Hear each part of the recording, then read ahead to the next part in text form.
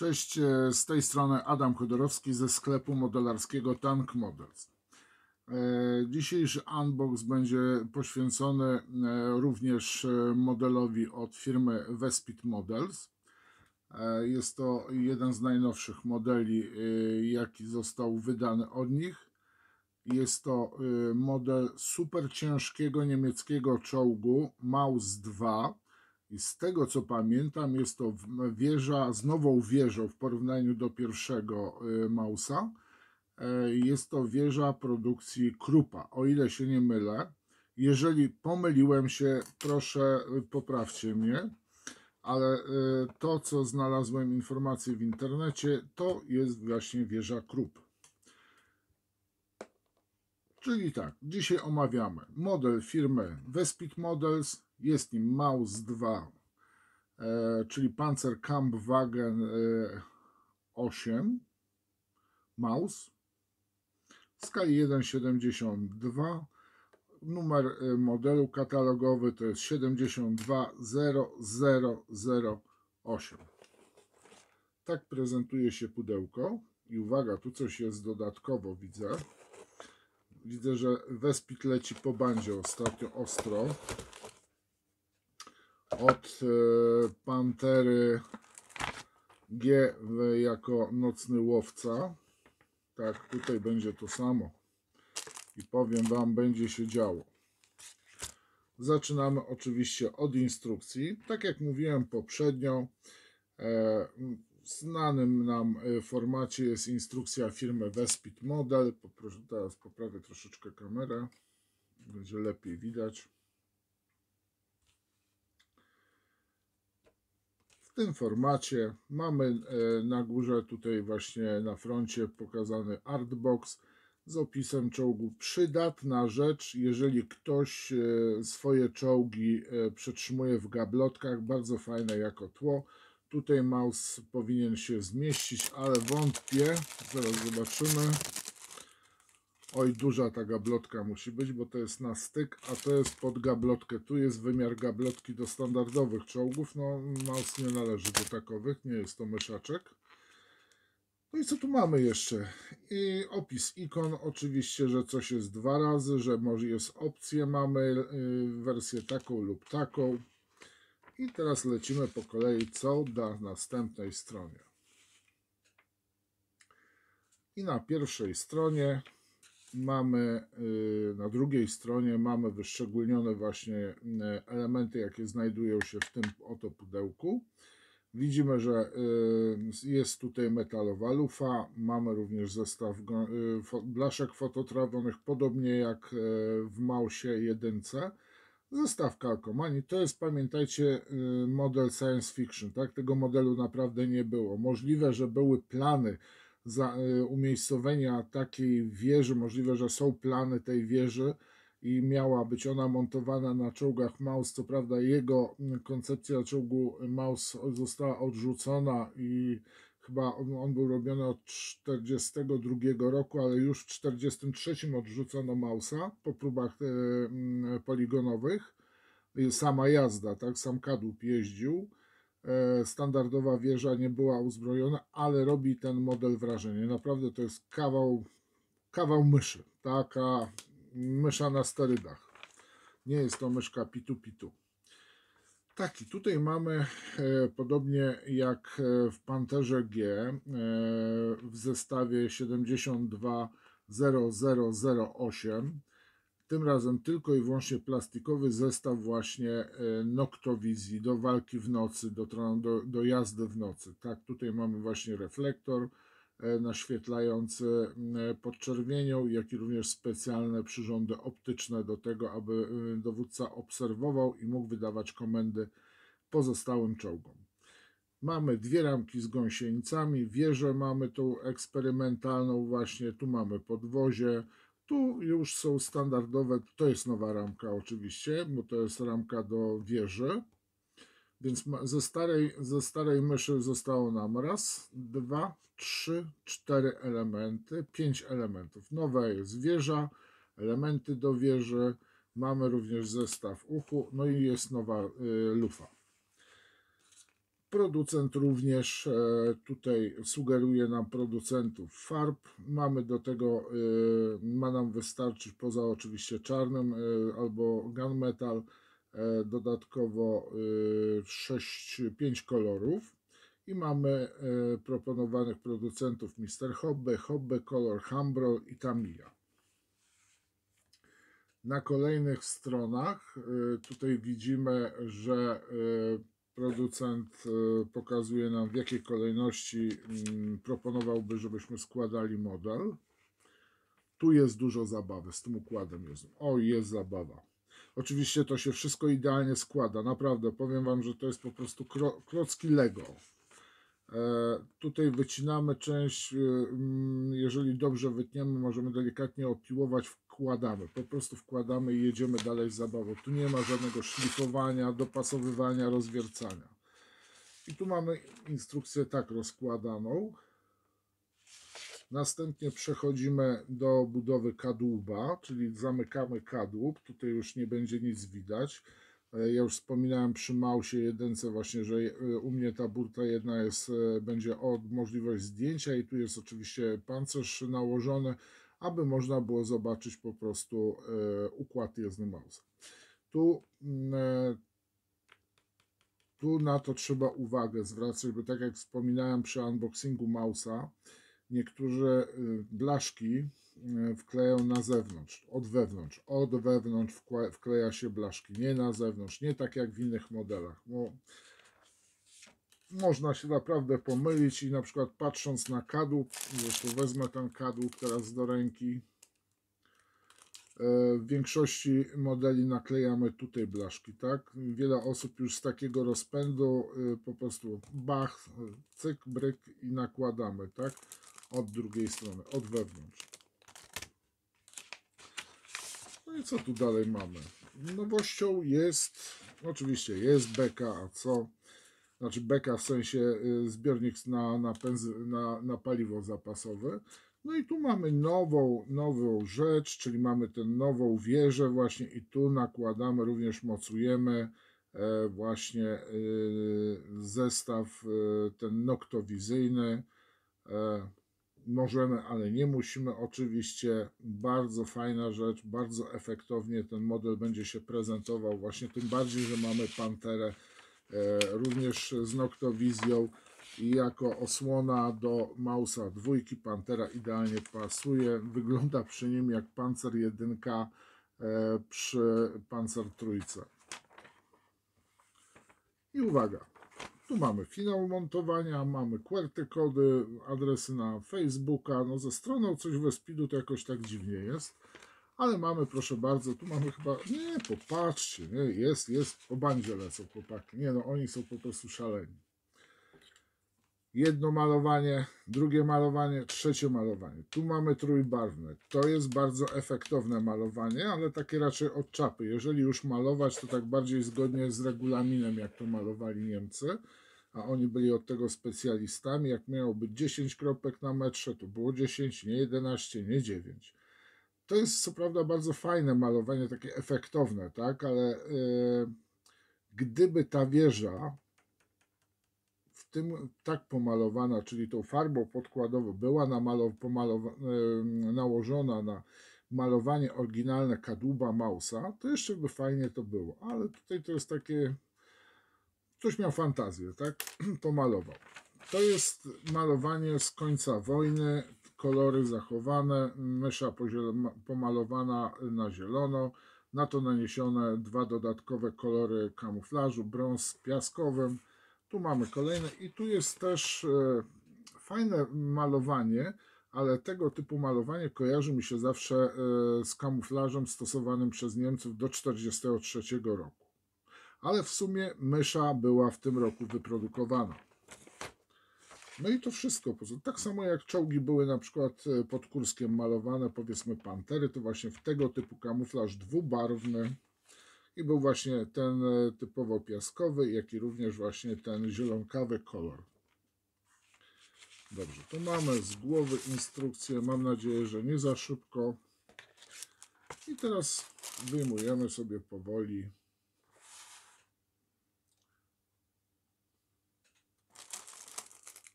jedna ramka podwójna,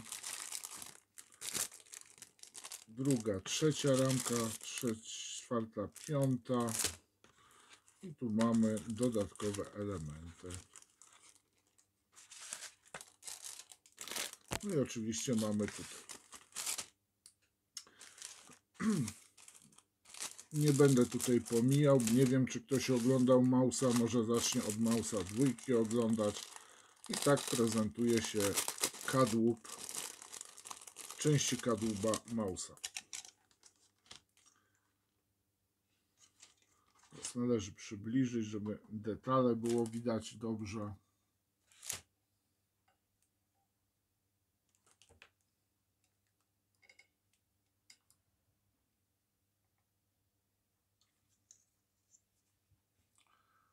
Tak prezentuje się dół kadłuba. Bardzo precyzyjnie e, odwzorowany na podstawie e, Mausa, który znajduje się w Rosji w Muzeum Kubinki na Kubince. Mamy bardzo fajnie odwzorowany właśnie spód.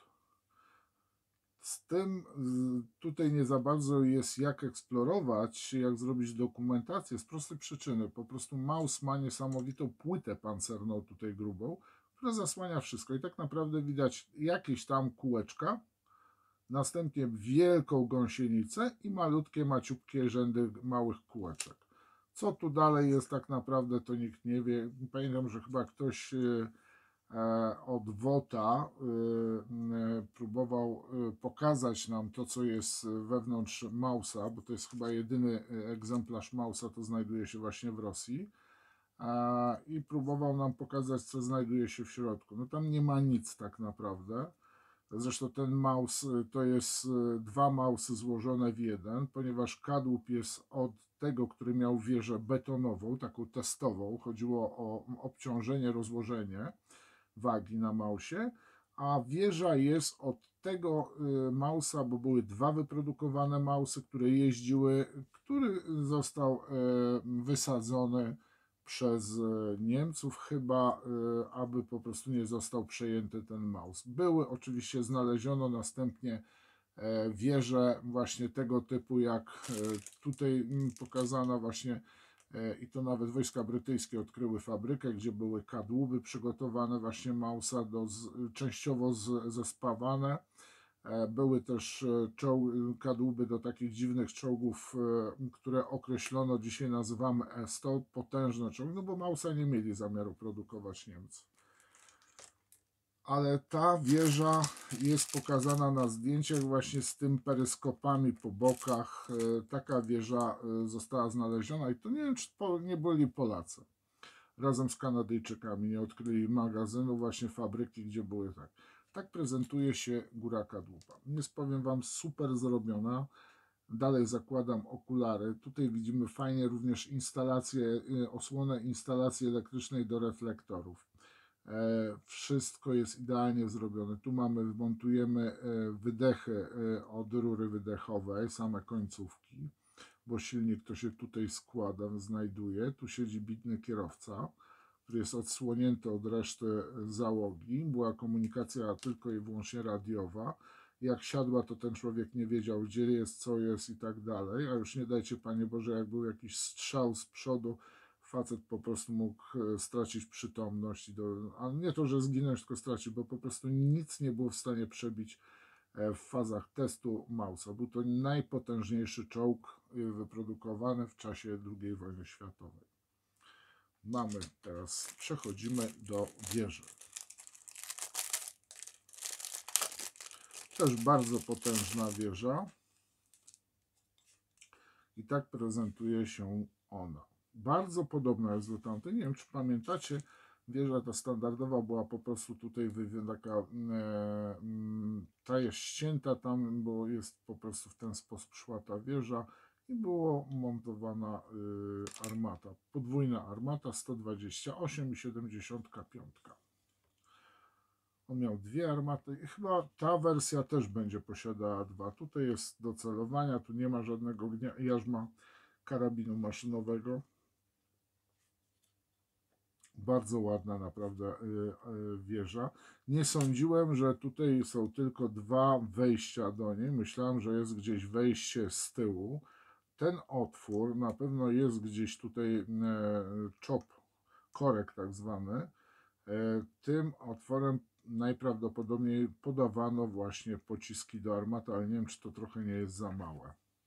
Ale w każdym razie na rysunkach, na zdjęciach na pewno nie ma tyłu wieży i mm, prawdopodobnie miał być tu y, w- właz, którym właśnie podawano chociażby amunicję do tego potwora.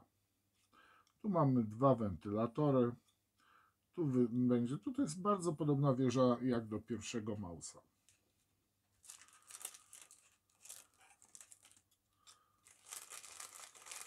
Tutaj jest ramka właśnie z noktowizją, z tym właśnie noktowizyjnym.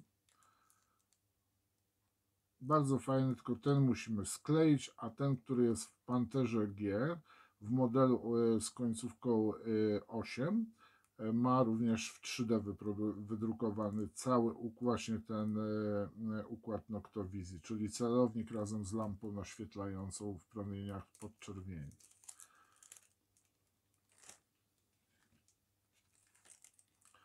Tutaj jest niby duży zestaw blaszek, ale to są blaszki, których tak naprawdę nie widać praktycznie. Wszystko wklejamy, te elementy wklejamy od spodu y, modelu y, kadłuba. Są to osłony siatki osłaniające po prostu y, filtry powietrza i, chłodzenia. A to jest pasek, którym mocujemy tą wielką bekę, do której zaraz dojdę, z tyłu kadłuba. Tu mamy kalkomanię z fikcyjnymi oznaczeniami pojazdu, ponieważ nigdy nie było tego pojazdu. A tu mamy lufunię. Takie maleństwo. 128, jak nie 150, powiem Wam. Tak się zastanawiasz, muszę zerknąć gdzieś y, w, do internetu. Niestety tutaj nie mamy informacji, producent tam nie, po, nie pokazuje, nie pisze, nie napisał nic. I tu mamy dwie ramki, w tym jedna jest nowa ramka. Chodzi oczywiście o wieżę. Zaczniemy od tej, która była.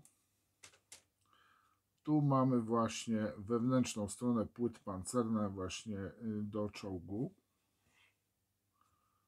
To są elementy, to są uchwyty do y, lin, aby wyciągnąć w razie czego y, właśnie Mausa.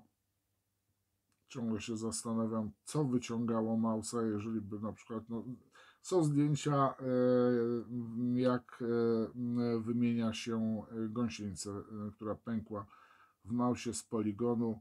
Cały czołg trzeba było do góry podnieść i następnie wyciągać gąsienicę.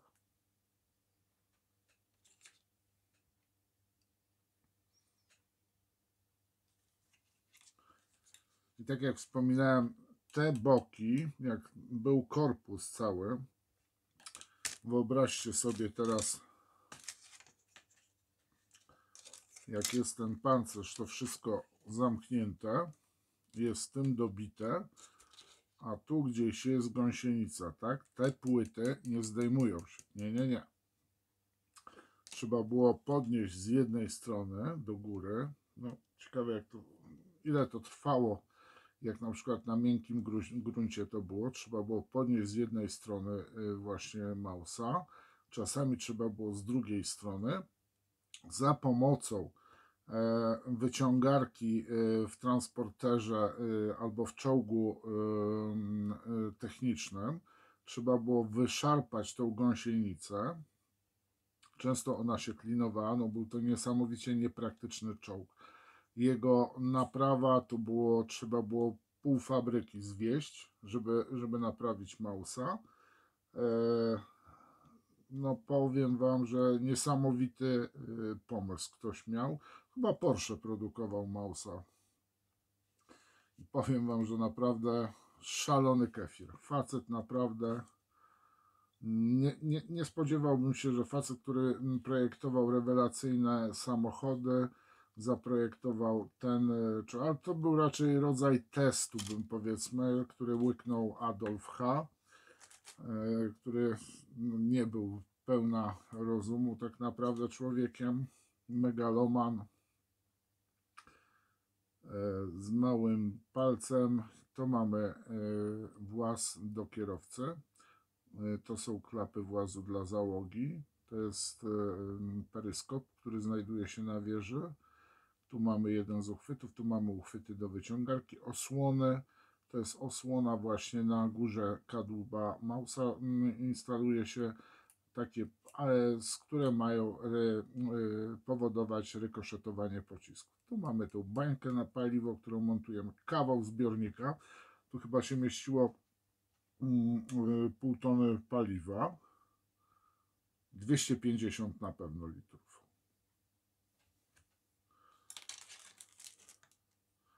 No i tu mamy elementy również y, wieży. Tu mamy właśnie całą optykę, którą mm, wezmę zaraz tą ramkę z wieżą.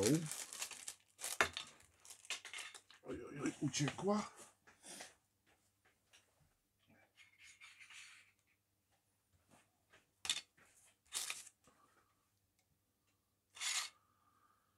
To montuje się mniej więcej gdzieś tutaj. Tak pokażę. Bierzemy z tamtej ramki, którą przed chwilą pokazywałem, ten peryskop tutaj montujemy, a to są dodatkowe y, zestawy optyczne. No, tu mamy jarzmo armaty. Czy to jest dodatkowe działko, tak jak w Mausie, nie wiem, wątpię, to jest jakieś do odgazowywania. A tu montujemy w tym y, jarzmiątku tą lufeczkę malutką. A co tam? No i mniej więcej to tak by się prezentowało. Nakładamy. Tutaj oczywiście jest tak. To zmienili, widzę po prostu tą górę. No będzie ten model naprawdę prezentował się super. To będzie kawał modelu. No i przechodzimy do gąsienic. Maleństwa takie maciupkie. No, chyba z metr miały z tego co pamiętam. Mamy duże, długie odcinki tych gąsienic, naprawdę są bardzo ładne. To są te, które kładziemy na zawinięciu, na kole napędowym i napinającym. Składają się rewelacyjnie. Tu po odcięciu tak naprawdę, bardzo dokładnie, jeżeli dobrze odcinamy, odcinając, pamiętajmy, trzymamy element e, odcinany, a nie ramkę, bo później kolana bolą. A czasami poszukiwany nie znajduje się i jest duży ból zęba. Tu wchodzą wózki, koła, właśnie z wózkami. No, to jest naprawdę niesamowity, powiem Wam. Czołg hybrydowy oczywiście, czyli miał silniki elektryczne, jak i również e, benzynowe. I kółeczka. Ramka, podwójna ramka z kółeczkami. Troszeczkę oddalę. Kabel niestety zaatakował, uciekł z góry.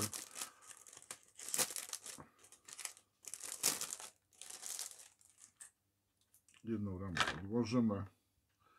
I proszę oglądajcie sobie właśnie koła. No jest, są naprawdę pięknie wykonane te elementy. Wszystko jest doskonale odwzorowane, zgodnie z planami, ze zdjęciami. No naprawdę, jeżeli chodzi o Wespid, to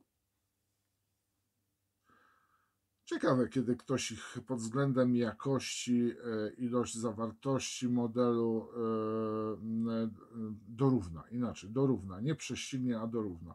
Bo to, co oni po prostu wyczyniają, to po prostu te modele, dodatkowe elementy, jakie znajdują się większości producentów rzuca nam coś tam. Teraz Dragon, e, widziałem, wypuścił stare modele Panther i tam chciał dorównać właśnie Vespidowi, jeżeli chodzi o Pantery G.